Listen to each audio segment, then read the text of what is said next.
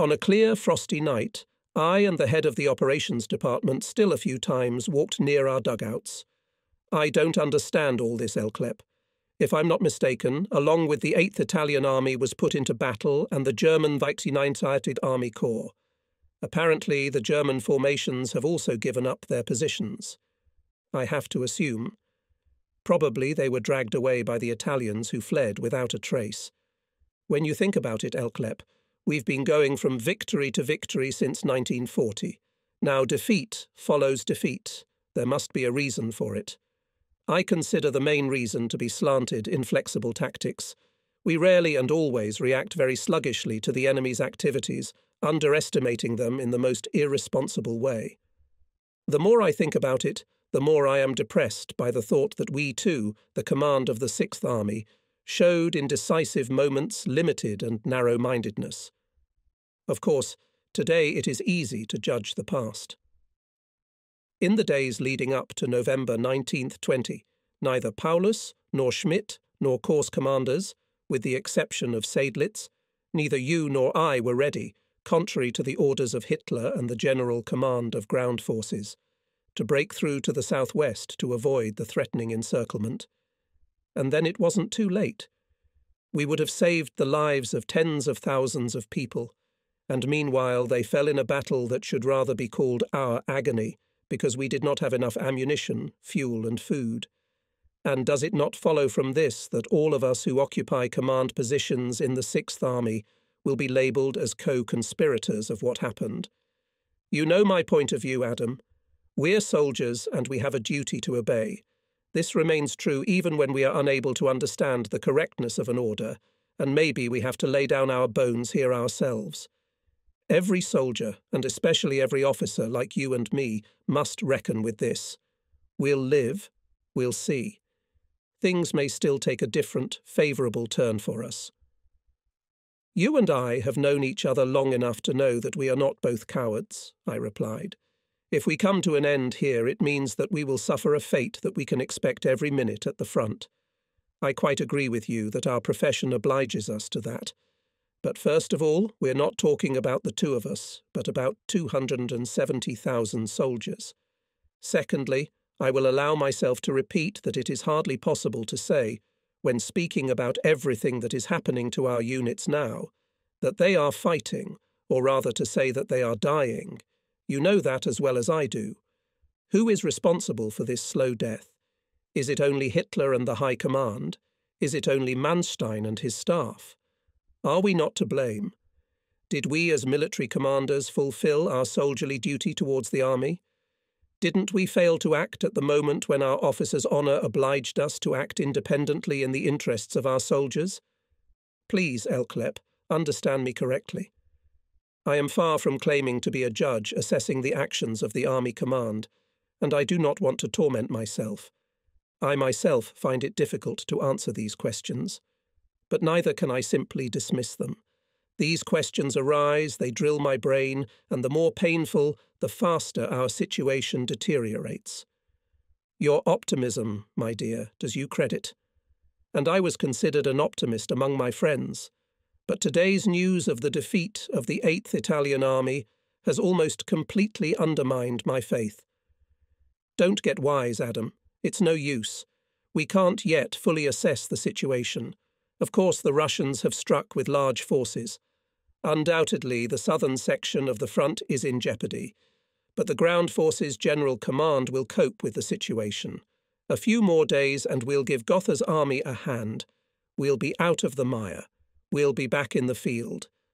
Today, our divisions in the southern section of the cauldron reported that already heard the thunder of the cannons of the army of Gotha. We stood outside my new shelter. Sparks were flying out of the small chimney. Apparently, my assistant was still hard at work on the furnace. When I left in the afternoon hours, frost glistened on the walls. Have you seen my villa yet, Elchlepp? I haven't had the chance yet. Come in for half an hour. I still have a bottle of cognac in my suitcase. A good sip is a good remedy for agonizing thoughts and cold. The colonel followed me down the five steps to the entrance of the bunker. I opened the door. My Oberleutnant was squatting in front of the stove, stirring the glowing embers. Compared to the temperature outside, the room was pleasantly warm. The walls must have thawed. While Elchlepp was talking to my employee, I took a bottle of Martell out of a drawer and uncorked it. There was a glass for Elchlepp, and the two of us used government issued aluminum mugs. We pushed our chairs closer to the stove. To the successful outcome of the battle, outcome, Elchlepp raised his glass. We supported his toast. We drank the throat burning drink in a gulp. What a pleasure it was! And if the outcome is not favourable, what then, Ellep? If we can't localize the breakthrough in the Italian section, we'll not then have to quickly pull back the army put into battle so that it does not fall into the encirclement? Because then we are doomed to disaster. What are you always shouting today? What's that about? Catastrophe means death or captivity, or rather, only death. Captivity equals death. According to the newspapers and radio programs for soldiers, you're right. But to tell the truth, I was never convinced that the Russians really shoot everyone who is captured. When we were stationed at Rzhev last fall, a lot of leaflets signed by German POWs were dropped. I myself saw several copies with our chief of the intelligence department. He told me that the signatories were indeed members of the units named in the leaflets and were listed as missing in action. Be that as it may, Adam, I will never surrender. So, according to you, an army in the most desperate situation, with no hope of escaping from encirclement, should let the enemy destroy itself? How is your thesis different from calling for mass suicide? I, too, am afraid of captivity. But do we have the right to take responsibility for the fact that only under the influence of fear, perhaps unreasonable, hundreds of thousands of people will sacrifice themselves? It is senseless. I believe that the struggle must continue as long as there is hope of getting out of the encirclement. Otherwise, it is a question of if the last hope for it is lost. My dear Adam, I can assure you that I will never agree to the cessation of the struggle, for that would be tantamount to captivity, and captivity is death. How do you intend to avoid capture, Elchlepp? I will ask Paulus to allow me to go to the front as a common soldier. There I'll sell my life as dearly as possible. That's madness, Elchlepp. It's nothing short of suicide. Think of your wife and children. There is nothing dishonourable in a commander stopping the fight if to continue it is to sacrifice tens of thousands of human lives needlessly. In my opinion, you would have to think it over thoroughly again. The Chief of Operations rose from his seat.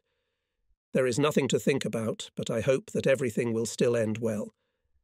Then he bade farewell to me and my Oberleutnant, silently and confusedly listening to our conversation.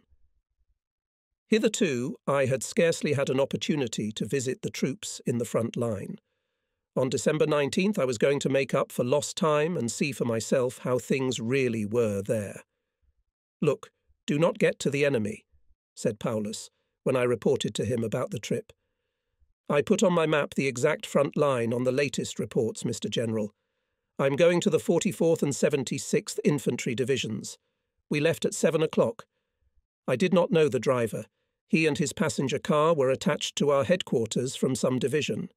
On the way through Gonchari to Rossoshka, I witnessed amazing scenes played out day after day at battalion medical aid stations, evacuation stations, and field infirmaries. At one of the infirmaries, I got out of the car. Back in September, I had visited a divisional medical station near Gumrak. The impressions of it are deeply etched in my memory. However, what I saw now in this temporary hospital was much more terrible, one might say nightmarish. The exhausted orderlies were pulling the seriously wounded out of the cars and carrying them on stretchers to the sanitary tent. There they would lie on blood soaked, dirty blankets until the operating room became available. The operating room was in a one story house about 15 metres long, with a Red Cross flag hanging over the entrance. To get in, I had to squeeze through a crowd of wounded waiting in line. One of them spoke to me. Help us, Mr. Colonel. We haven't eaten anything for three days. Most of us have frostbite on our hands and feet. There, up ahead, all the assembly and dressing stations are full. The doctor sent us here. From a face covered with dirt and stubble, tired, feverishly glittering eyes looked at me. The soldier's arms were wrapped in strips of woolen blanket. I told him I had come to talk to the doctors. Then I squeezed my way into the building. Through the open door, I could see the room for the wounded. They had already been treated and were awaiting evacuation. It was an ominous cluster of white bandages and dirty uniforms. The wounded were lying cramped on the floor and covered with overcoats or rags. In the next room was an operating room. When I appeared in the doorway, a man separated from the group surrounding the operating table and came toward me. It was a doctor. With sunken cheeks, pale, exhausted, he stood in front of me in a blood-stained gown and a smeared rubber apron. Together with three other doctors and twenty orderlies, we have been working day and night without a break for three weeks, he told me. During that time, our infirmary had to be moved twice. Once, because an airplane bomb destroyed half the house, killing about 30 wounded and nine of our men. The other time because the Russian artillery hit us with two shells with equal success. Now we can no longer move from the place because we have lost all our vehicles. Every last one of our places is occupied. Of course, we give help to all the new arrivals. We give them a bowl of hot soup or a cup of tea, change their bandages, and send them to the city. There, in the houses that are still standing and in the basements of the ruins, auxiliary infirmaries have been set up where these poor people will at least have a roof over their heads. What do you do with the seriously wounded, Doctor? I asked. We send them on divisional trucks to the nursery airfield. The Chief of Army Sanitation orders their departure from the cauldron, Mr. Colonel. What we're doing here hardly has anything to do with medicine. It's a disaster. If you go ahead, you'll unfortunately see that it's even worse than ours. And so it was. There were cars full of seriously wounded people in the way of the columns. They didn't move any more. They were frozen. The tanks were out of fuel. By the time the driver, usually the only person able to walk, after hours of searching and begging for fuel, returned with his canister, it was all over. The fierce frost extinguished the life that barely flowed in the weakened bodies. No one cared for this pile of dead. Gradually it was mercifully enveloped in a white shroud of snow. Wherever there were houses, tents, or shelters, the lightly wounded and the sick gathered. In small groups they dragged themselves with difficulty on foot to the city. Seldom were they lucky enough to catch a hitchhiker. The city, which during the heavy summer and fall fighting had been avoided by anyone who was not sent to it by order, had now become a magnet Everyone hoped to find shelter in one of the cellars, to receive medical help from some sanitary unit, or even a bowl of soup. This is roughly what Napoleon's defeated army looked like 130 years ago, when it was retreating westward. Wrapped in blankets and cloak tents, with sackcloth and pants instead of boots on their frost-bitten feet, barely moving their legs, the soldiers of the Sixth Army, marked with the seal of death, apathetically wandered eastward, there was almost nothing soldierly left in them. It was a fallen spirit, unarmed crowd. To save it, medical aid, food, and warm shelters were needed immediately. Every day of delay meant that the fate of many was irrevocably sealed. The adjutant of the 76th Infantry Division supplemented my own observations with a detailed report of the personnel situation. The attrition, especially of sick and completely exhausted men, had already become disastrous a few days ago. The shortage of men in the infantry is increasing. Reports of sickness are usually received so late that it is impossible to help. How do we explain this? Because up until now it was just the opposite. Many soldiers have reported sick at the slightest indisposition in order to get out of the battle zone for a few days, I said. That's true, Mr. Colonel, but that's not the case now. Many avoid reporting sick because they are afraid of being abandoned in retreat. I believe that most of the frontline infantrymen are sick. What is the mood of the troops? It's hard to say, Mr. Colonel. After the ring of encirclement closed, the mood was depressed. But when it became known that Goth had launched an offensive to rescue us, everyone became cheerful and hopeful again. We thought the ring around us would be broken quickly. Eight days have passed since then, and it is clear that everyone is greatly disappointed. There are individual voices sharply criticizing the High Command, cursing Hitler, the Nazi Party, and the war in general. Even some officers do not understand the meaning of this worth so much sacrifice order to hold out to the end and the slow death of our army. However, so far, the 76th Infantry Division has shown resilience in any situation. I interrupted the divisional adjutant. It turns out that the phenomena you described contradict the behaviour of soldiers in battle. That's right, Mr. Colonel. If the enemy attacks, even those who just a few minutes ago were cursing Hitler grab their weapons. They fight, first, because they are panic stricken with fear of capture, secondly, because everyone is waiting for Goth to break the ring of encirclement. How close did Colonel General Goth manage to get? As I learned before I left for you, the army that is deblocking reflects the strong attacks of the enemy. It's making extremely slow progress. But we hope that in a few days things will improve. On the way to the 44th Infantry Division, I again witnessed horrible scenes. Soon my car was filled with wounded men. One had his entire head bandaged, with only his mouth and eyes visible between the blood soaked bandages. Another had a shot arm in a bandage. The third I picked up because he was walking along the roadbed, swaying from side to side, and every minute you could expect him to fall and never get up again. Shaking with fever, he was now sitting between two other wounded men in the back seat of my all terrain vehicle. Where should I drop you off? I asked the wounded man in the arm.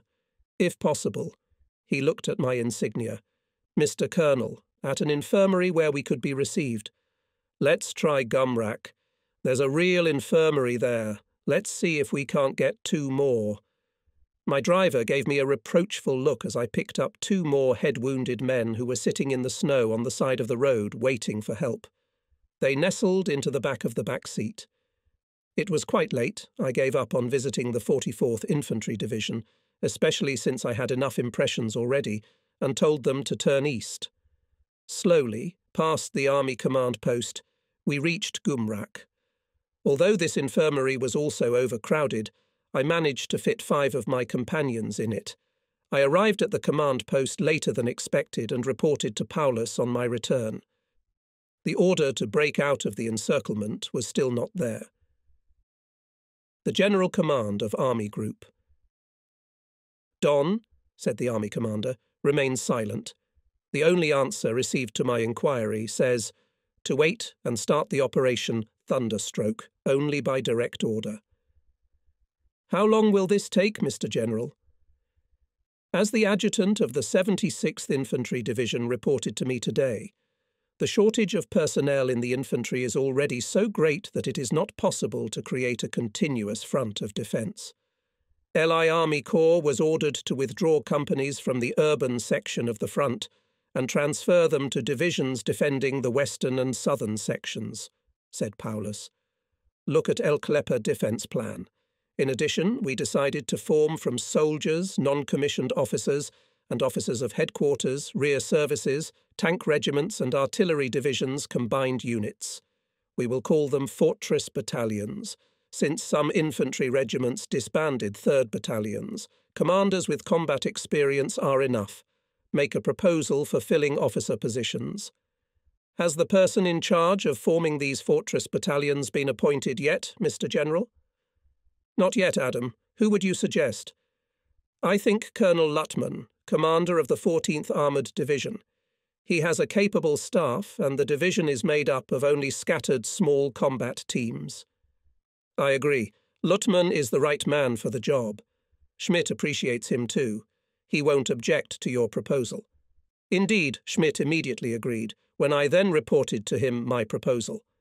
Yes, Lattmann is the right man for the combined units, said Schmidt. Will he be satisfied with himself, Herr General? As far as I know the mood of the troops, neither the officers nor the soldiers have no great desire to play the role of front-line fire department in such hastily assembled units. If this was a simple case, we wouldn't need Lutman. He can handle it, the Chief of Staff said succinctly. I felt uneasy. Fortress battalions? Actually, nonsense if you remember that many of these soldiers had no combat experience as infantrymen. Most of them had lived until now, without knowing hardships, in some shelters, by the stove. Now they were suddenly being driven out into the icy cold, into a raging blizzard. Would they be able to fight?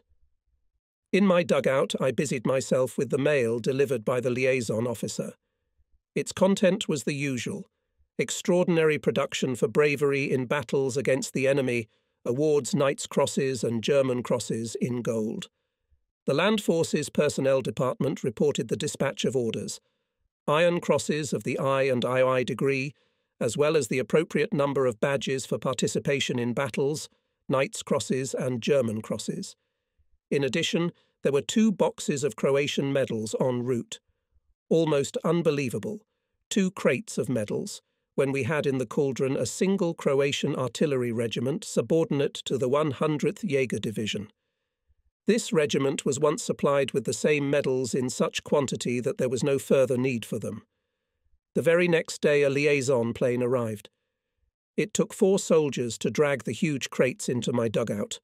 The crates took up so much space that I could hardly turn around. Oberfeldwebel Küpper opened them with an axe. They were filled to the top with Croatian war medals. It would be best, Herr Colonel, if we send the boxes to the 100th Jaeger Division, Küpper said. It's pointless.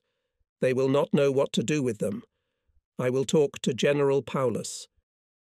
At dinner, I told about the fallen to the share of the army gift. My story caused not only general laughter, but also indignation that the precious space in the airplane was not used for food. I can cite examples in this regard which make your hair stand on end, said Oberquartiermeister von Kunowski. The last planes delivered a dozen boxes of condoms, five tons of candy, four tons of marjoram and pepper, 200,000 brochures of the propaganda department of the Wehrmacht. I wish the bureaucrats responsible for this had spent eight days in a cauldron. Then they wouldn't repeat such idiocy. I am also surprised that Colonel Bader did not prevent it although we sent him there for that very purpose. I immediately protested vigorously to Army Group Don and asked for better instruction and control of the responsible persons at the airfields in the future. Well, Kunowski, intervened in the conversation Paulus, I too will ask Manstein to make sure that in the future such outrages will not be repeated. It seems to me that Bader has lost all influence on our supply we should think of sending to the base airfields more suitable officers who know our situation from their own experience. I ask you, Schmidt and Kunowski, to think about this and submit suggestions to me. Several days passed, but the expected order from Manstein to begin the Operation Thunderstrike was still not. Paulus and Schmidt spoke daily with the headquarters of Army Group Don by radio on microwaves, as in earlier days, I listened to and stenographed most of the negotiations that Paulus led. Manstein, as before, avoided answering questions concerning the situation outside the cauldron. Paulus every time angry. December 20 seconds, communication with the outside world interrupted. Apparently, our troops, defending on the lower reaches of the Chir, withdrew to the south or west. So day after day passed in useless talk and inactivity.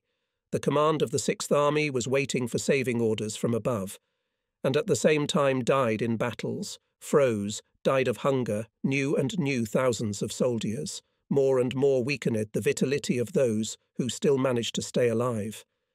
Paulus and his staff the main reason of the growing catastrophe saw in stubbornness and bad faith of Hitler and higher command authorities. Undoubtedly, a significant part of the blame fell on them but was not the army command itself, which obediently decided to hold out to the end, a well functioning lever of the whole command mechanism designed to destroy people? Did it not thereby become an accomplice in the crime? At that time, such a question, and even less the idea of complicity, did not even occur to us. We were a product of Prussian soldier education, accustomed to obey, to obey the order given, even if it turned out to be senseless, criminal, barbaric in relation to our troops. The main thing is that the ability of critical political thinking was not cultivated in us. At that time, we saw the Stalingrad catastrophe mainly as a consequence of certain military mistakes of the High Command. It did not occur to us that the Second World War, initiated by Hitler's Germany as a whole, was a crime not only against the nations we attacked, but also against the German nation. It was a sad Christmas. On December 24th, at about 6 pm, the word came over the radio that Goth had been forced to begin a withdrawal. We were struck like a blow. When somewhat later we gathered at Paulus's house for dinner, he briefly mentioned the failure of Goth's deblocking offensive and the collapse of the entire southern section of the front. He spoke of the grave threat posed to Group A in the Caucasus and of the seriousness of our own situation. In spite of everything, we must not lose hope. Having said a little about the meaning of the Christmas holiday, Paulus finished with the following words Here we are gathered around the table today, to remember our families who are mentally together with us at this hour. The sharp contradiction between the terrible reality of war and the peaceful Christmas holiday could not be removed by words. Everyone felt it that evening. Therefore, the holiday was very sad there was an almost grave silence in the bunker. The few candles burning on the table were to replace the Christmas tree decorated with glass balls and tinsel. Near each plate were two cigarettes and two or three chocolates, which General Paulus took from a large box sent to him from Romania. The mail from Germany had not arrived. Neither parcels nor letters were distributed. A heavy snowstorm almost completely interrupted air communication. I imagined my wife and daughter taking a lovingly rapid Christmas message addressed to me to the post office in 14 days or even three weeks. It never reached me. I wrote nothing to my family about our hopeless situation. I knew how much my wife was still suffering after the death of our son Heinz. In spite of this, they certainly had a premonition that disaster was coming between the Volga and the Don. Contrary to custom, that evening we parted soon after dinner. Each wanted to be alone with his thoughts, or to sit a little longer with his closest associates. My subordinates were waiting for me in the room that served as the office. The fire crackling cheerfully in the stove created some coziness. I had prepared a small gift for each of them a few cigarettes or a cigar, a couple of galettes or cookies wrapped in newsprint. The adjutant of the army group, Colonel von Werder, sent me two bottles of brandy, which I placed on the table. The best present was a small Christmas tree which one of the non commissioned officers extracted from a parcel received three days ago from his wife. Oberfeldwebel Küpper had donated a few candles from his carefully kept stock. Everyone looked at me expectantly. What was I to say to these four front-line soldiers who had been with me for over a year and had been soldiers long enough not to be deceived? All of them were married, all of them had families. I told them, without hiding anything, about the situation outside the cauldron. Then we talked about our households. Four had received mail in the last eight days, letters and pictures went around. Over the talk, we managed to forget the ghastly reality. The candles burned out, the bottles were drunk to the bottom. Around midnight, I went to my workroom, which also served as my bedroom. My driver had just put a few more chips into the crackling fire. I took off my boots and tunic, put out the light, and lay down on the camp bed. My thoughts kept me awake. Finally, I fell asleep. When I came to the office the next morning, the first day of Christmas, my staff was drinking dark junk food, which was a substitute for coffee, and nibbling on the galettes and cookies I had given them the day before. They congratulated me on the holiday. The first to shake my hand was Oberfeldwebel Küpper. Pale, with sunken cheeks, he looked even skinnier and taller than usual. His hope of seeing his wife again had all but vanished overnight. The other three looked little better. I didn't even try to encourage them. I'd have to lie to do that. I decided to give them more work to do so they wouldn't have too much time to think, so I told Küpper, when you've had your breakfast, come and see me. Forgetting myself in my work seemed to me the only way out. The adjutant did not have too much work now, but it could be made up. Küpper, prepare data on how many soldiers, non commissioned officers, and officers of the Sixth Army were out of the Army at the time of the abolition of furloughs on November 19th. That is, how many could not return to their units at the end of the vacation. Further, how many furloughed officers had to return daily. I'll prepare the material now, Mr. Colonel. The data on how many furloughed men were sent out daily we can take from our daily army orders. Only the IV Army Corps will have to be asked.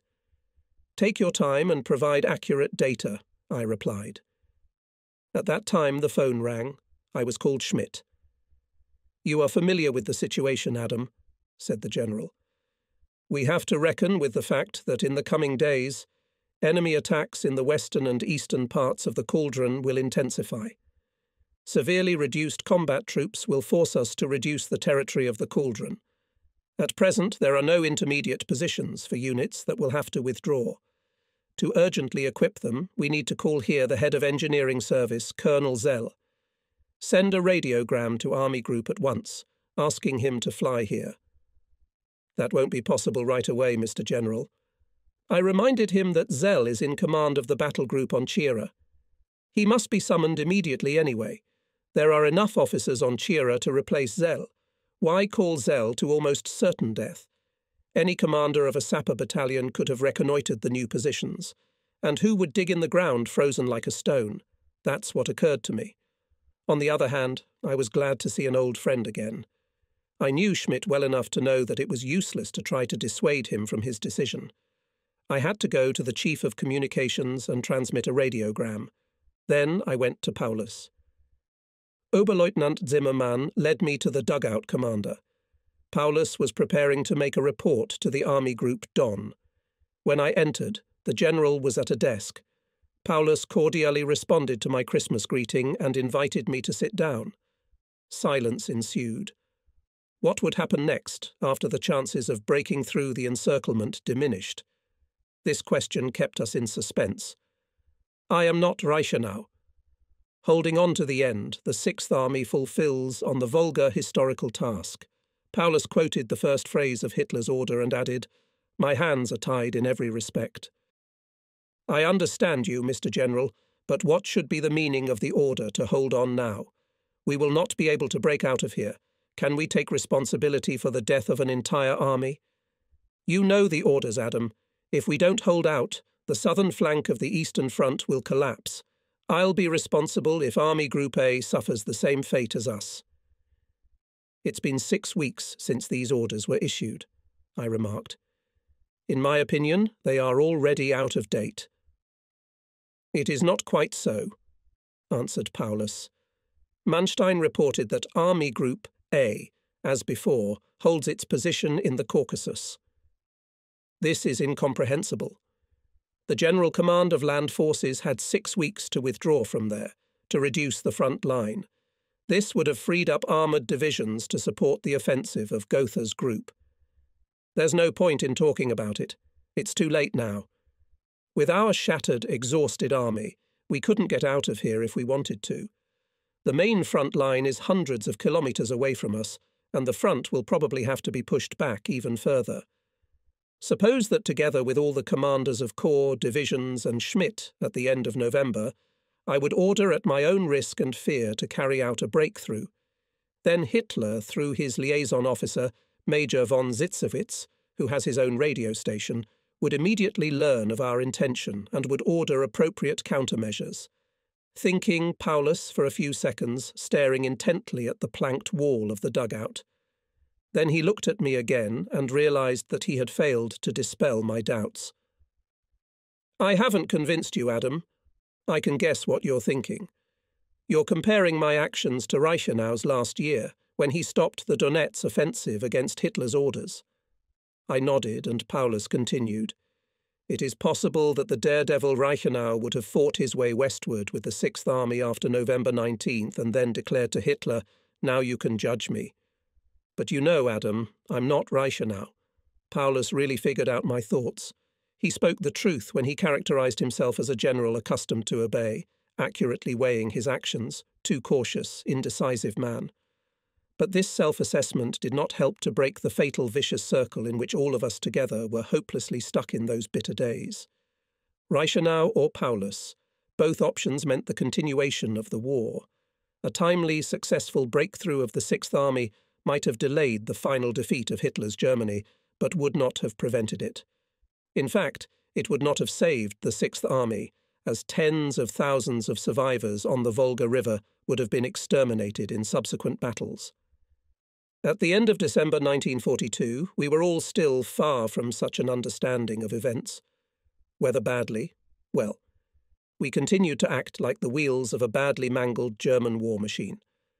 When I returned to my dugout, Küpper submitted the material compiled at my direction. At the beginning of the Red Army counter-offensive, 25,000 men were on leave. Every day about 1,000 people returned to the front. Where are these vacationers going, Mr. Colonel? If they were here, we'd be able to plug the gap. Assuming they don't turn into dead men in the cauldron. As a matter of fact, General Pfeiffer should have rounded them up outside the cauldron and kept them at the disposal of the army. Instead, by order of the Army Group Command, all the returnees are shoved into battle groups. Amazingly, Every day a few vacationers still arrive at the boiler by transport planes. I telephoned some divisions today to get accurate numerical material for the data you requested, Küpper said. One clerk told me that when a train with vacationers arrives at the front, a loudspeaker announces that all soldiers and officers should report to the station commandant. Despite this, some do not comply and go to the airfield. The airplane commanders take them as air gunners. If these unsuspecting people knew what was going on here, they'd probably stay there. I quite understand them, Küpper. They're driven by a sense of camaraderie. It keeps a lot of people coming back to their units. I had a visit from Colonel Elchlepp on Christmas Day. What news? he asked after we shook hands. Did Schmidt tell you about his yesterday's telegraph conversation with General Schultz of the Army Group? I don't know anything. Was there anything interesting? There seems to be nothing new on the Chira front. However, Schultz said that the 6th Panzer Division has been recalled from Gotha's army for the defence of Morozovsk. Commanders of transport planes report that the left flank of Army Group Don has withdrawn to the west. So far, it has not been possible to completely stop the Russian offensive. It seems to me that the army group, as before, leaves us in the dark about the general situation. In any case, this confirms that we are in a hopeless situation. The 6th Panzer Division was Gotha's main striking force. If with it could not defeat the enemy, without it will not succeed even more. It is clear that Gotha will have to pull back and the remaining two of his weakened tank divisions. Absolutely, agreed Elchlepp. Manstein, even on the 16th, at the latest December 18th, realised that a new catastrophe is looming. It is unclear why he did not authorise the Operation Thunderstrike. An order for a breakthrough would have doubled the strength of our soldiers. Now that time has been wasted, the Army Group reports that we should be ready for a breakthrough. Fuel and food for this will be delivered by air, but only if the weather is favourable. This is pure mockery, Elchlepp. What, in fact, think Manstein and his staff about the situation of the Sixth Army? It has nothing to do with military necessity anymore. I completely agree with you. Paulus is just compiling a new report on the dire state of our divisions. The next day, this report was sent to the headquarters of Army Group Don. It said approximately the following Heavy losses, frost, and inadequate supply have recently greatly reduced the combat effectiveness of divisions. Therefore, the Army, as it has done so far, manages to repel minor enemy attacks and hold out for some time. The prerequisites for this are improved supplies and the arrival of replenishment. If the Russians withdraw large forces from the Gotha front, and with these or other troops take the offensive against the fortress, we will not be able to resist for a long time. Breakthrough from the encirclement is no longer feasible unless a corridor is formed for the withdrawal of troops and the army replenished with men and provisions. Therefore, I ask to inform the High Command of the need to take vigorous measures to quickly unblock the army if the overall situation does not force to sacrifice it. It goes without saying that the army will do everything to hold on to the last opportunity. In addition, Paulus reported on the radio Today, delivered by air only 70 tons. Bread runs out tomorrow, fats, tonight, food for dinner, in some corps, tomorrow. Urgently needed drastic measures. So, the 6th Army commander has sent a new report. Actually, which one is it? However, it should be said that by December 25th, when the strong 6th Panzer Division was recalled by Manstein from the site of Gotha, Paulus could hardly on his own responsibility to give an order to break through the encirclement.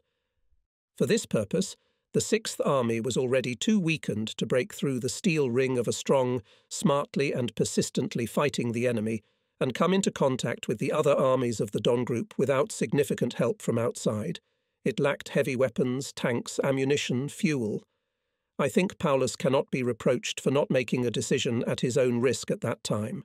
However, how often he and all of us obediently reported, obeyed, kept silent, when there was still an opportunity to put the higher command authorities before the fait accompli, and, having realized the breakthrough, to save the lives of tens of thousands of soldiers who soon died of hunger, frost, or were killed. The joint responsibility for the death of the Sixth Army, arising from this fact, cannot be absolved from those who then occupied high command positions in the encircled formations. The enumeration of motives and considerations that guided them can explain but not justify their actions. We remained prisoners of the order obedience scheme, even when the order clearly violated the traditional Prussian German idea of soldierly duty and was immoral. We were even more untenable in choosing the true alternative to the sacrifice of the Sixth Army at the behest of German imperialism. The alternative, which was timely surrender. We were completely ignorant of the political side of events and therefore were unable to make such a choice. In the following days, by order of Paulus, all preparations for a breakthrough from the cauldron were cancelled. Trucks were sent to the units. Captain Töpke again returned to the duties of the Oberquartermeister, but he was soon assigned to the bases of transport planes outside the boiler. At the end of December, Colonel Zell arrived at the boiler. Confusedly, we shook hands. I then escorted him to the commander's dugout. After listening to the report on the arrival, Paulus ordered to tell how things are outside the boiler. Worse than any fears, Mr. General. Before the flight, I managed in the headquarters of the Army Group, at my friend Colonel Busse, to look at the operational map. Tatsinskaya, with the main supply depots, was surrendered on December 24th. The airfield was taken by the Red Tanks from the start. Almost all the airplanes have fallen prey to the Russians. This will severely affect the supply of the boiler by air. Morozovsk is also under threat. To the west of the site of the 3rd Romanian Army are fighting. Millerovo was already occupied by the enemy, but now we must have retaken it to stop the enemy, hastily let down battle groups and individual battalions. By order of Manstein, the 6th Panzer Division is taken away from Gotha. For this reason, as well as in view of the threat of encirclement, Goth had to retreat. Army Group A is still in the Caucasus. The headquarters of Army Group Don from Novocherkassk was transferred to Taganrog. In other words, Zell, we must finally bury the hope of liberation from the encirclement. One thing remains to fight on, to tie up as many enemy forces as possible, and make it easier for Manstein to create a new front. Schmidt was present at Zell's message. It made much less impression on him than on Paulus. Chief of Staff responded with an empty rejoinder. The battle will continue, my dear. The commander and his chief of staff decided to lead the Sixth Army to perdition. How long will our hardship stricken, doomed troops be able to hold off the onslaught of superior enemy forces? Is the death of more than 200,000 soldiers justified for the sake of a dubious goal? The command of Army Group Don announced by radio the appointment of Colonel Van Hooven as the new Chief of Army Communications. His predecessor, Colonel Arnold, was out of action after seven wounds. On December 28, 1942, I saw my new workmate for the first time. Tall and slender, with an intelligent, narrow face, he was perfectly oriented in the situation inside and outside the boiler. Tell me, Hooven, I asked him, where did you get the data to navigate so well? I was the commander of the communications regiment of the RGK. Naturally, I had ample opportunity to familiarise myself with the course of events on all fronts. In addition, on December 24th, General Fellgiebel in the Führer's headquarters personally introduced me to my new duties. On December 26th, I flew to Army Group Don in Novocherkassk. There I supplemented my information with new data.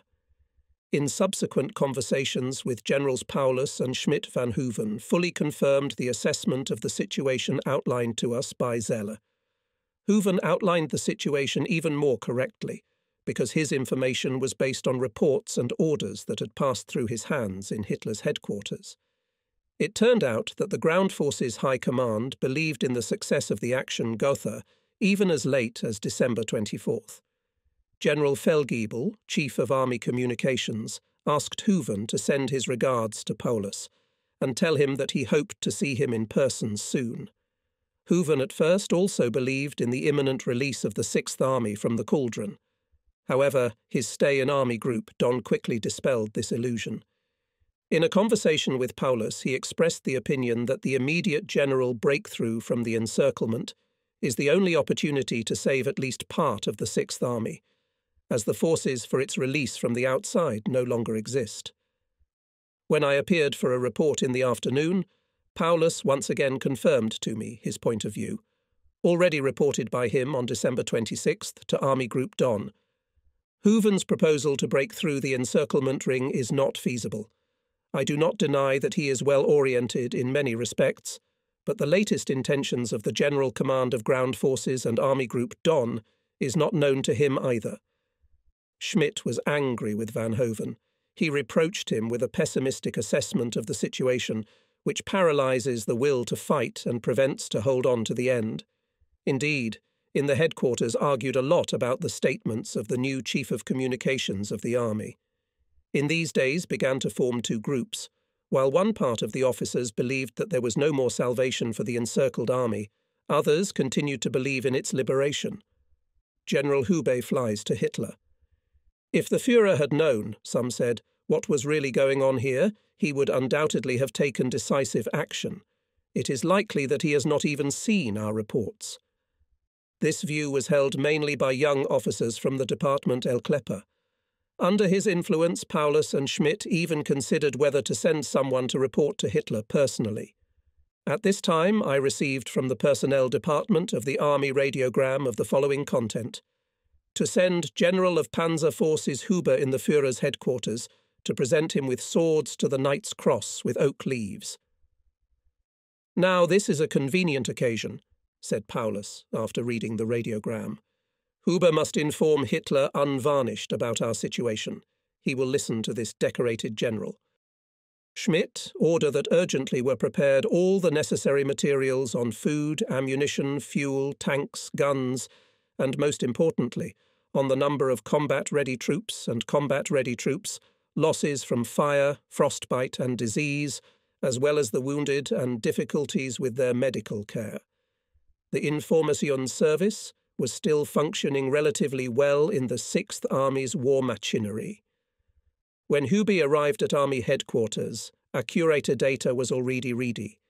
In addition, Paulus and Schmidt gave Hube verbal instructions and asked the general of the panzer forces to tell and personal experiences to finally achieve a realistic assessment of Hitler our situation. On the same day, Hube left on a communications plane. Curious whether Hube will be able to tell everything there, or Hitler, as usual, will interrupt him after the first phrases to avoid unpleasant messages, said Paulus. In these days, I had a lot of officers hanging around doing nothing, because their units were defeated. Some of them are skid for a new assignment, most of them are skid for permission to fly away. Every day one of them could take a seat in an airplane of Army Group Don as a liaison officer. I was instructed to select candidates on the basis of medical reports. Usually these were elderly people who the doctor considered not quite fit for combat service. Every such case was checked and decided by General Schmidt personally. Only those who, being in the cauldron himself, saw how inexorable death mowed down his comrades, can imagine what feelings enveloped these liaison officers when they received the order to leave. I escaped death, said one of those who came to me with a report of their impending departure. However, some of them still died before the end of the war. One day that Leipzig battle painter who had come to see us in the summer came to see me. Under his arm he carried drawings, sketches for battle paintings. His face bore the marks of hardship and suffering. I showed the drawings to Schmidt and suggested that the artist be allowed to fly away. For us, he was just unnecessary ballast because he was not fit to be a soldier. But Schmidt was not moved by this. He refused to make an exception.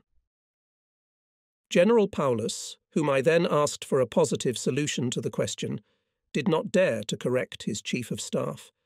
Thus the artist became a senseless victim of the very monster of war to which he had devoted his abilities. He left my dugout in a completely depressed state. Küpper appeared at the door. Mail from Corps headquarters, Mr. Colonel, he reported. Give it here. Oberfeldwebel pointed to a paper lying on top. It was a detailed report of the 18th Army Corps on the increasing phenomena of decay in the troops.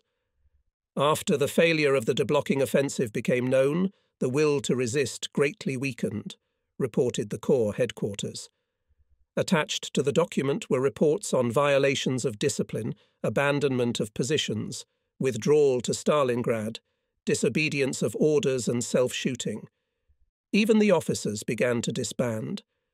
I immediately familiarized Paulus and Schmidt with this document. Now we have to reckon with such tendencies.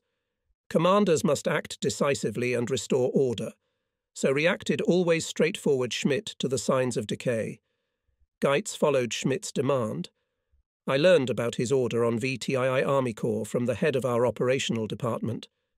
I still remember that each paragraph began with the words, to be shot, followed by a list of offences. Who will leave positions without orders, who will not fulfill orders, who will establish communication with the enemy, and so on. Paulus was more reasonable. We should not forget what these soldiers had endured in recent weeks. If they could eat and sleep again, they would look at everything with different eyes, said the commander. Of course, Mr. General, that plays a role too, I said. But I think there is more to it than that. In my conversations with young soldiers and officers, I always encounter the following phenomenon. The soldiers are deeply disappointed. They no longer believe that they are fighting for a just cause. At school, at home, in the Hitler Youth, in the NSDAP and the Wehrmacht, they were instilled with a sense of the greatness of fighting for a noble cause. They believed in the Fuhrer, trusted him, sacrificed their lives. Now they have learned that they have been deceived, that their trust is answered with lies. This is an extremely painful process, in many cases inevitably leading to a weakening of discipline. If you are referring to young people, this is true to some extent. However, there are symptoms of decay among older people as well.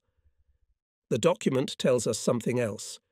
It is stated that every night from the enemy's location, the Germans, through a powerful talking machine, call on our soldiers to stop resistance as it is useless.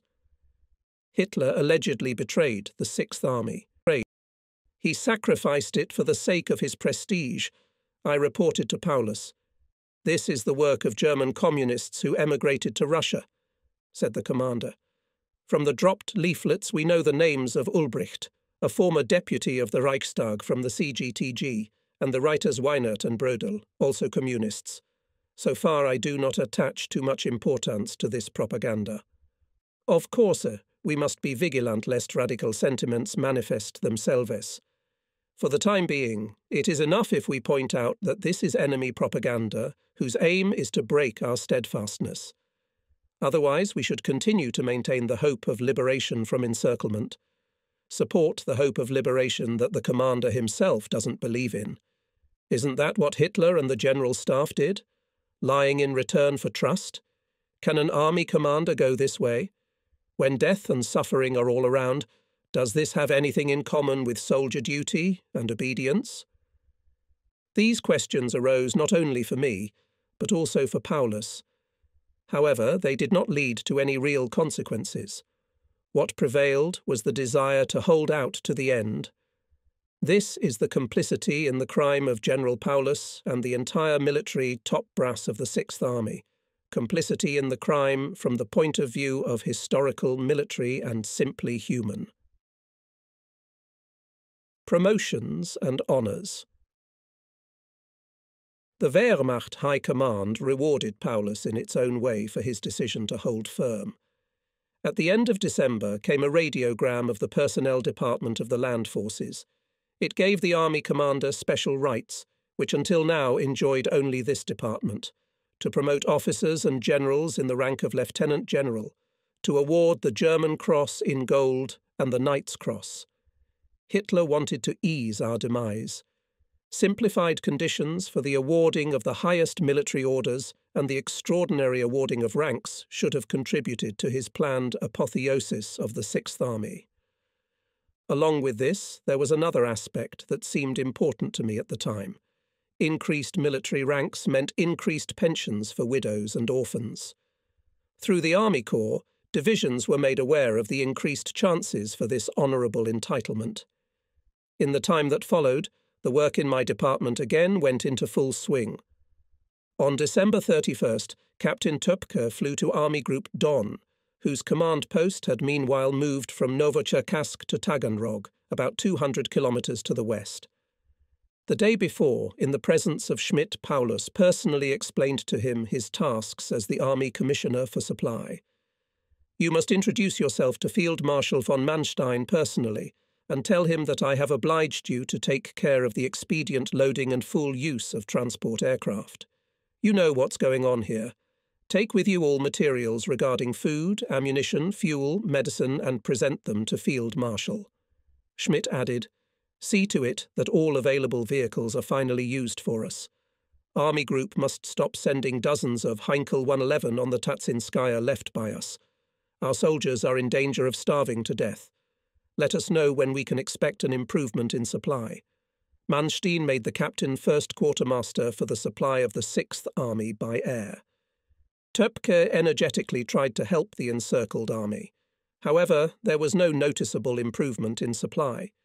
The total payload capacity of the airplanes was too small. Soviet anti aircraft artillery and winter weather drastically reduced the amount of supplies delivered by air. After the loss of Morozovsk and Tatsinskaya, the distances from the original airfields to the boiler increased considerably. The airfields at Shakhty, Novocherkassk, Voroshilovgrad, and Salsk were 350 to 400 kilometres in a straight line from the nursery. It was even 450 500 kilometres to Stalino and Taganrog. In a radiogram on the occasion of the New Year, Hitler again assured that every member of the Sixth Army could enter the new year with a firm confidence that the Führer would not abandon to the fate of the heroic fighters on the Volga, and Germany would have the means to free them from the encirclement. At the same time, General of Panzer Forces Paulus was promoted to Colonel General. Loyalty for loyalty. Then this radiogram Hitler, despite all our anguish, still had a known impact although it was treated with more doubt than the same message six weeks earlier. As a result of repeated disappointments, inhuman deprivation, and uncomplaining death, something in us had broken. However, we were far from understanding the essence of what was happening, and it was difficult to penetrate into it. Events were inexorably approaching their fateful finish, and nothing could prevent it. It was January 1943 the first morning of the new year. When I woke up, the fire was already blazing in our stove. I slipped my feet into my boots, put on my tunic, and went out to the chancellery. My subordinates did not look like a year ago in Poltava. They sat depressed, indifferent, indifferent. Silently they gave me their hands. I could not cheer them up either, as I myself was experiencing internal discord. The heads of departments gathered at Schmidt to go to Paulus and congratulate him on the new year and the production of Colonel General. I knew he had been waiting for this promotion. Now that it had come, it caused only a tortured smile. We had already left Paulus's dugout when I remembered that I had forgotten to pin the third star on the commander's epaulets. I returned to correct the omission. To my apology, he said, Leave it, Adam. With this promotion, Hitler only wants to ease my end. The usually taciturn general began to talk about his trips to the divisions. You can be glad you don't have to go to the front lines every day. When you returned from the 76th Infantry Division a few days ago, I realized what an impression everything you saw had made on you. Since then, the situation has deteriorated even more. The stamp of starvation is visible everywhere. At the dressing stations, the doctors assured me that hunger and frost were causing more casualties than enemy action. Infirmaries and divisional medical stations are crammed with thousands of wounded, half frozen and exhausted, lacking the most basic necessities to help them. The will to live is lost. A sense of hopelessness is spreading more and more. But outside the cauldron, only beautiful words are found to assess the situation. Still, I think, Colonel General, that after Hube's report to Hitler, something will change. As far as I know, Hube will speak frankly. Let's hope he does. I'm afraid it's too late for that now. In any case, I'm still bound by Hitler's order to hold out to the last bullet. Have you heard, Colonel General, the wild rumours going around the cauldron? On the western section of our front, soldiers are talking about SS divisions that have allegedly reached Kalach as if artillery cannonade is even heard. Others talk about a parachute division that landed between Kalach and Karpovka. I know about these rumours and would like to know who is making up such nonsense.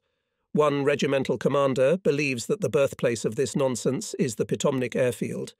Maybe he's right. It is possible that pilots of transport vehicles inadvertently, or even on instructions from above, invent such tales to distract us from agony.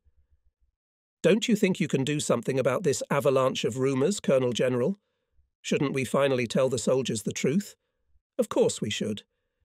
But I want to wait for Hube's return. One of the first days of January, I received a call from the commandant of the airfield, informing me that two large transport vehicles with soldiers had arrived and asking where to send them. What a thing, I thought in surprise. What good are a handful of soldiers to us in mortal danger?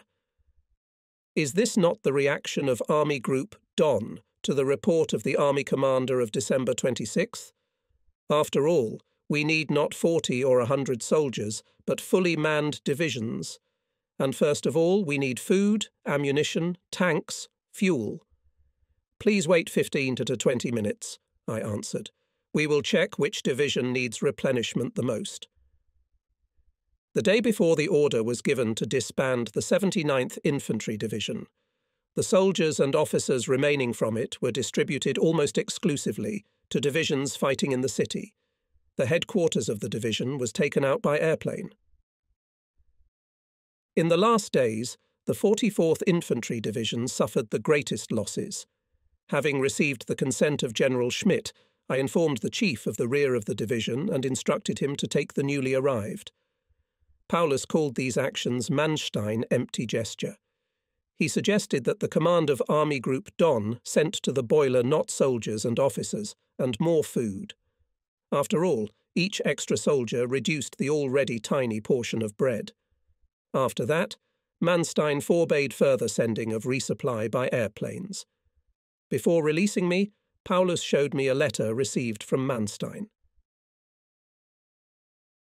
Army Group Commander, referring to the repeated demands of Paulus to allow the Sixth Army to break out of the encirclement, stated that he sympathised with them. However, the higher authorities can more correctly assess the situation. Therefore, Paulus should follow the orders received. In this way, on the other hand, he is relieved of responsibility for what is happening. Does this not prove, Mr. Colonel General, that Manstein, from whom we expected so much, completely obeyed the dictates of Hitler? I asked. Such an impression is my impression, Adam, replied Paulus. This was to be expected a long time ago. Being outside the cauldron, I do not conceal that in this respect I am sceptical. But firstly, I do not know what air transport reserves the High Command has. Secondly, I am not responsible for the fulfilment of these promises. Thirdly, orders from higher authorities deprive me of freedom of action. That is why I have requested the decisions of the General Command of the Land Forces regarding the Red Army's surrender proposal. I expect to receive an answer soon. Oberleutnant Zimmermann reported that the Corps commanders gathered in the next room. I left for my dugout. Later, the Chief of Army Engineering Service, Colonel Zell, who participated in the meeting, told me how it took place. All Corps commanders already knew the text of the surrender proposal. Paulus familiarized them also with the message of Hube and asked them to express their thoughts. All unanimously spoke out against surrender and assured that the same opinion of division commanders. Meanwhile, the response of the General Command of Land Forces arrived. It read, Surrender is ruled out. Every extra day that the army holds on helps the entire front and pulls away from him Russian divisions. Paulus was again denied the freedom of action he had asked for. Army Group Don shared the viewpoint of the General Command. Major General Schmidt drew conclusions for the Army from the message of Hube and the rejection of the surrender, ordered another sweep of all headquarters, rear services, and infirmaries in order to form additional composite units and strengthen the front. He also ordered new positions on the western section of the front, already outlined by Chief of Engineers Zeller. Parliamentarians of the enemy to meet with fire, Schmidt also added. Chief of Staff again prevailed, concluded Zell his story. He made me responsible for the construction of a new defensive line. Where I would get men for this purpose, of course, he did not tell me. Have you read the surrender leaflet yourself? No, I have not yet seen a copy, but I know the contents of the ultimatum. Take it out and read the whole thing. There's something in it. As soon as the colonel left, Küpper appeared with the leaflet in his hand. Now I had the text of the Soviet ultimatum. It began with a detailed analysis of the Sixth Army's situation. The analysis fully coincided with my own assessment. It went on to warn that severe frosts, cold winds, and blizzards were coming. In view of our hopeless situation and the senselessness of further resistance, the Supreme High Command of the Red Army, in order to avoid wasted bloodshed, proposed to end the resistance of all German encircled troops and surrender in an organised manner. All personnel of the surrendered troops retain their military uniforms, insignia, and orders, personal belongings, valuables, and the highest officers, and cold weapons. All surrendered officers, non commissioned officers and soldiers will be immediately provided with normal food. All wounded, sick, and frostbitten will be given medical aid. The message ended with the following words Your answer is expected at 15 War Moscow time on January 9th, 1943, in writing through your personally appointed representative, who is to follow in a car with a white flag on the road Konni Passage, Kotluban Station. Your representative will be met by Russian trusted commanders in the area B 0.5 kilometres southeast of the road junction 564 at 15 hours 00 minutes on January 9th, 1943. If you reject our offer of surrender, we warn you that the troops of the Red Army and the Red Air Fleet will be forced to deal with the destruction of the encircled German troops, and for their destruction you will be responsible. The message was signed by representatives of the Red Army Supreme High Command Stavka, Colonel General of Artillery Voronov, and Commander of the Don Front, Lieutenant General Rokossovsky. I believed that the surrender proposal was fair, that those who survived and surrendered were not threatened with execution. On the other hand, at that time I could not yet not give in to Paulus's arguments. Now, in retrospect, I must say that the rejection of the proposed surrender was a decided matter even then, as soon as the commander of the Sixth Army requested the decisions of the General Command of Land Forces. Given the state of senselessly dying divisions and Hitler's shameless perfidy to the Sixth Army, Paulus was obliged, in full accordance with the usual soldier's idea of loyalty for loyalty, to finally decide to take independent action. I believe that in the case of a timely surrender could have been saved, and after the war returned to their families much more than 100,000 soldiers and officers. The argument, as if the bleeding and starving Sixth Army diverted large enemy forces from the southern wing of the German front, is unconvincing. The Soviet command undoubtedly also knew that the Sixth Army was forbidden to break through by orders from above, and that its combat effectiveness had plummeted. This allowed him to draw conclusions as to the necessary degree of concentration of Soviet troops on the Volga. The rejection of the Soviet offer of surrender of January 8, 1943, is from the point of view of historical, military, and human huge fault, not only of the Supreme Command of the Wehrmacht and the Command of Army Group Don, but also of the command of the Sixth Army, the commanders of its army corps and divisions. The Soviet ultimatum became known to the troops in almost the entire area of operation of the army. This was confirmed to me by the head of the Operations Department, Colonel Elchlepp. The proposal is being discussed both in the headquarters and in the troops. Think of pros and cons. However, even more excitement in the mines caused the news of the return of Hube and the new plans for liberation from the encirclement. The pendulum of mood over the past 14 days, which had increasingly swung toward despair and apathy, is now once again swinging toward hope and vigour. Do these poor people, I asked Elchlepp, have any idea what they will have to endure before their scheduled release date in mid February? Do you really believe, Elchlepp, that we will break out and that our troops will hold out for another six weeks? Yes, Adam, I believe it, my interlocutor answered without hesitation. I can assure you that Paulus will still unconditionally obey the Führer's orders, Schmidt and I will unconditionally support him in this regard. I don't understand one thing. Why does the Colonel General demand freedom of action? Because in the present phase it can only be understood as a cessation of hostilities, since further resistance has become futile. A breakthrough to the main front, distant by 400 kilometres, is completely eliminated for the remnants of our army. In this there is no disagreement between us. You say that surrender is ruled out, but what happens next? Our army is rapidly declining, and soon there will be nothing left of it. Then let us die as disciplined soldiers. I repeat what I have told you before. I will never surrender to Russian captivity. Do you think all soldiers and officers think the same? I doubt it very much how little willingness people have to risk their lives for more than dubious resistance is shown by their very negative attitude towards the fortress battalions. Now we're going to comb the rear again and form new battalions. But they have no value. Untrained formations melt like snow in the spring sun. You should be thinking more about how to satisfy the CO's requests for help, Adam. The 297th Infantry Division's section of the front is occupied by a completely insignificant force. There are no reserves to hold off the enemy. Every man we send to them counts. We can't lay down our arms now. I think Zell and Van Hooven have got you in over your heads. Surrender is out of the question. Everything in that message is communist propaganda. I don't believe a word of it. We have to fight to the last bullet finished Elchlepp. Nothing could be done against such stubbornness. Business discussion was out of the question.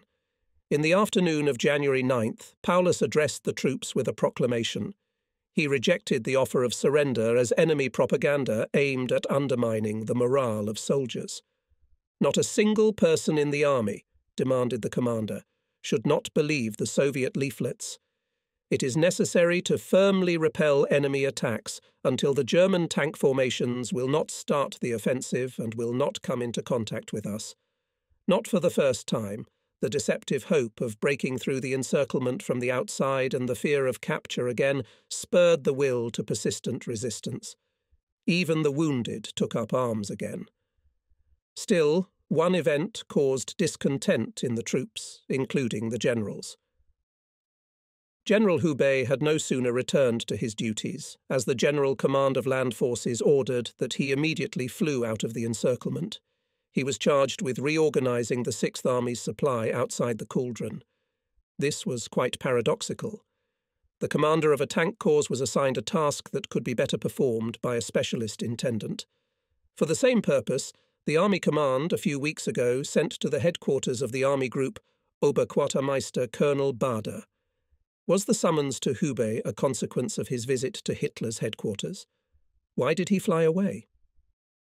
About such questions asked me generals and officers, and they did not hide their indignation. I knew no more than what was said in the order for his flight. On the night of January 10th, General Hube left. At my suggestion, the command of the Kornev Tank Corps was entrusted to Lieutenant General Schlömer, commander of the 3rd Motorized Division. There were some clear cases of officers who wanted to slip out of the cauldron. For example, the Chief of Operations of the headquarters of the 14th Panzer Division, Lieutenant Colonel Petzold, asked me to petition Schmidt for permission to fly away. What should I do here? he said. The division practically no longer exists. Its remnants are organised into combat groups. Division Commander Colonel Lattmann, by order of the Army Command, is forming combined units. I'm completely out of the picture.